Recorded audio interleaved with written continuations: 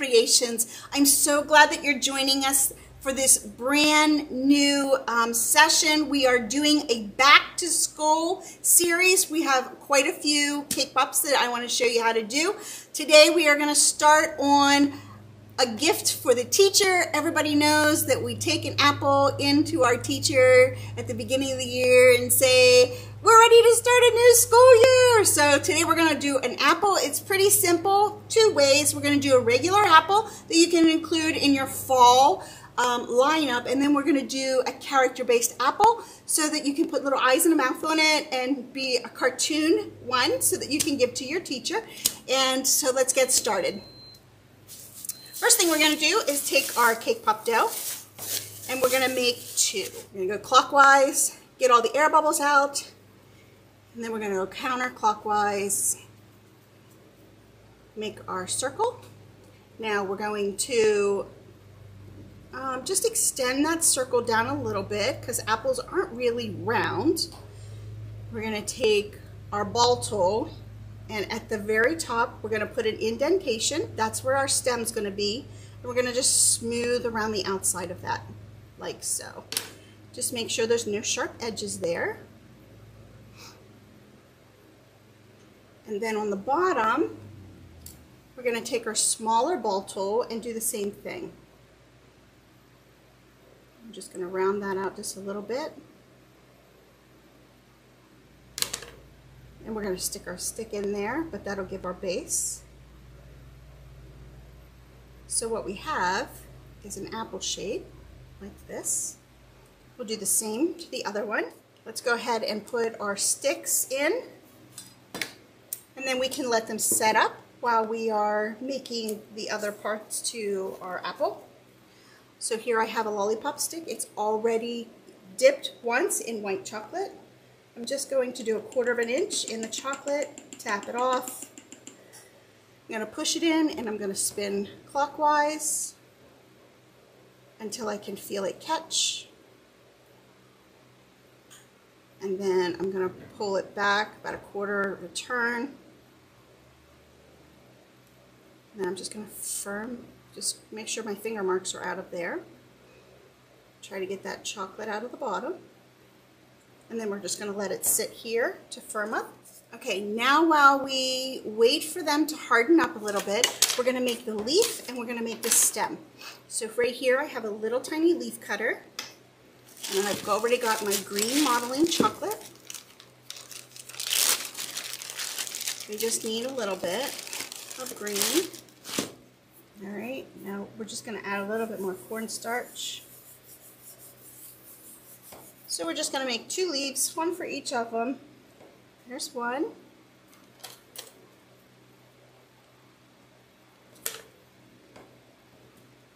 And there's two. Oops, this side. Okay, let's put this green back.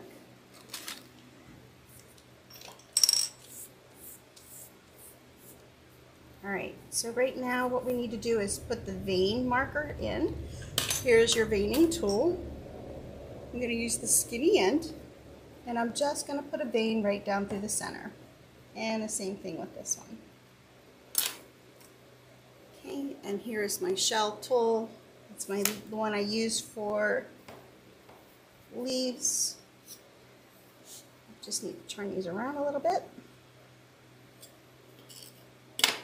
And I'm just going to go from the center vein outward just to put a little bit of contrast in that leaf.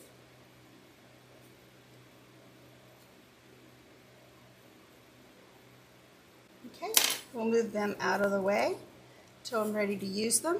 Is grab our brown modeling chocolate. We have some right here. And we're going to make a stem for our apples. Okay, and I'm just going to take part of it, about three quarters of an inch, I'm going to make the one end a little bit smaller and I'm going to push down on the top end.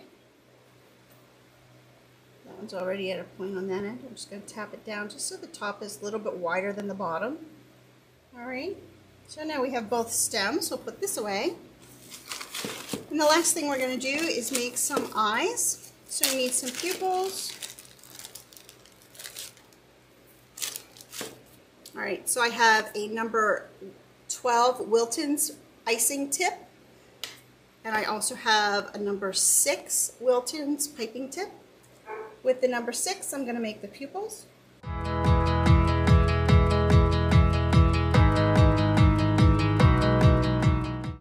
right, let's grab our water. We're gonna use that as glue. We're gonna flip these over. One side, you'll notice when you're cutting them out, has a nice sharp edge. And the other one is rounded and softer. I want the softer round edge at the top and the sharp edges at the bottom where it will touch the, uh, the other chocolate. I'm gonna use a little paintbrush and I'm just gonna dab a dot right in the center of each one of these.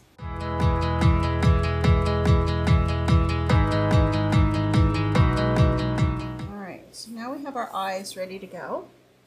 Okay, so now we're going to take our cake pop that should be set by now. We're going to give our chocolate a nice stir so it's all the same consistency and temperature. So we're going to put it in at a 45 degree angle and I'm going to pull it back and turn it at the same time until the chocolate connects to itself.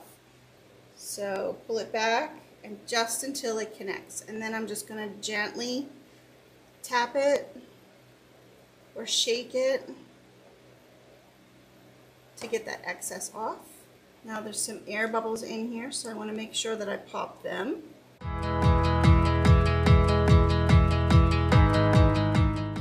Alright, so I'm just going to tap it a little bit just to make sure it's completely on the stick. I felt a little softness there spinning. There's just a little bit more drip ready to come off.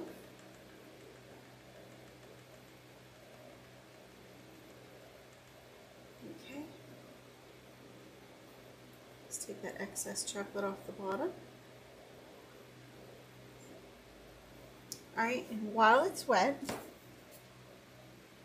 going to take one of our stems and drop it in the top like so. And we'll sit it over here and let it firm up. We'll put the, the leaf in after it starts to dry just a little bit more, right? So let's do the same with the other one. Get that excess off there, let it drip. I see a couple bubbles. We'll have to get them. It's important to make sure that your um, bubbles are popped completely so that when they do pop as they're drying, it doesn't give an open access to your cake pop dough air is not your friend. It will create a bacteria growth in there. You don't want your customers or clients or family or friends getting sick.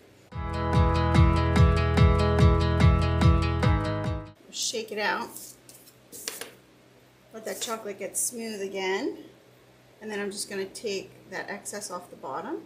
And there you go. A nice red apple for the teacher. Let's pull this one up for a moment because that one's been sitting for a few seconds. Now we're going to take our leaf. I'm just going to put it in that wet chocolate like so. Oops.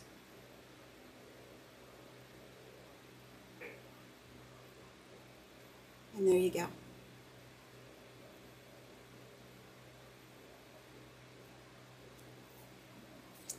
Okay, we'll do the same thing on the other one in just a moment. As soon as it uh, firms up just a little bit more, it's still really glossy. And that's how you know that the chocolate's still too wet. Okay, let's take our apple and let's go ahead and put this leaf on. It is firmed up a little bit. It's starting to get that matte look to it. So we're just, whoops. Let's try that again. I'm just going to take it and drop it right there beside our stem, like so. And there we go, we have that one. That one's ready to go. Now let's go back to our first one and we're going to find a spot so that you can see both the leaf and the stem as you're looking at it. So we're going to put eyes right here. We're going to drop those eyes in. Let's see if I can pick that up.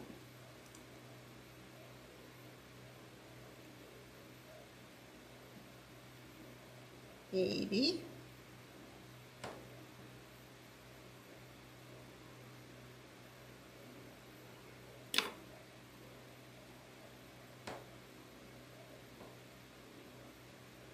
there's one.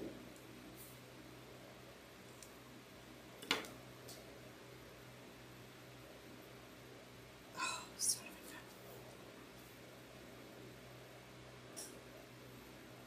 well, that sometimes happens. So let's just take that out. That's why we make extra ones. Let's smooth that chocolate out again. And that's why we do it when it's wet. So if things happen, we can fix it. So we're going to try that one again. It's okay, we still have one more.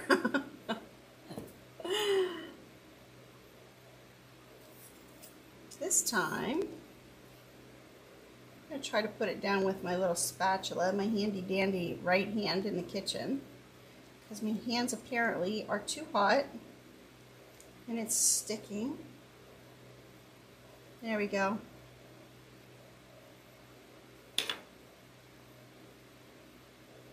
Okay, so we just put that in it. Now we're going to let it dry, and then when it's all dry, we'll come back in and we'll actually put little eyelashes on there and a smile, but it has to be completely dry at this point so that we can do the decorative work for the rest of his face. So at this point, um, we'll take a short break and we'll be back in a little bit whenever we're ready to finish it up.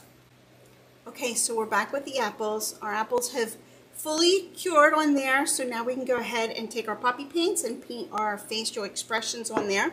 First thing we need to do is get our little palette and our poppy paint. This one is dried out already, so I need to Put a little bit more in here.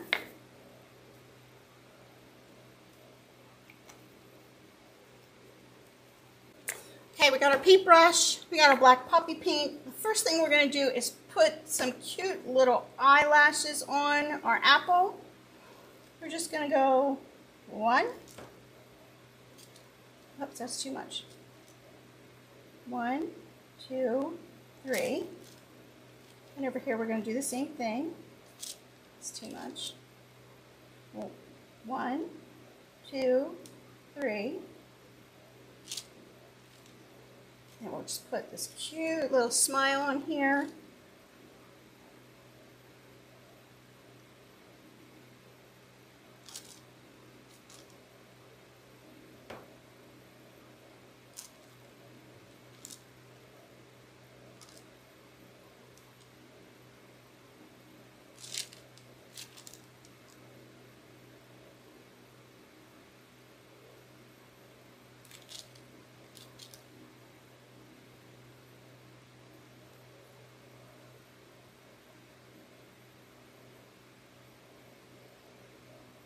And there you have it, just like that. So you can make your apple just plain, like the natural um, look of an apple could be, or you can add a little bit of character and put some um, facial features on there. Simple, cute, easy. Either way, it's a two-in-one. So there's our apple for our back to school. You can even put an A plus on there for your teacher if you wanted to do that. They make all kinds of cutters, um, cookie cutters, but anyway, here's our apple for this part of our series of Back to School. I hope you enjoyed it and get out there, try it, be creative. Until the next one, have a great one. Today, won't you click the link to reserve your spot in my consultation schedule? Don't stress any longer. Let me help you get the breakthrough that you're looking for today.